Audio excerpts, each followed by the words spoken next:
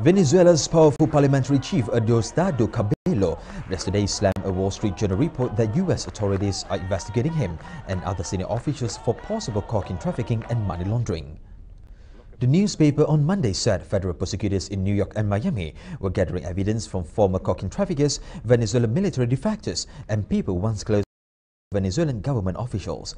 Venezuelan opposition leaders and U.S. officials have made accusations for years of money laundering and drug trafficking against the governments of President Nicolas Maduro and his predecessor Hugo Chavez.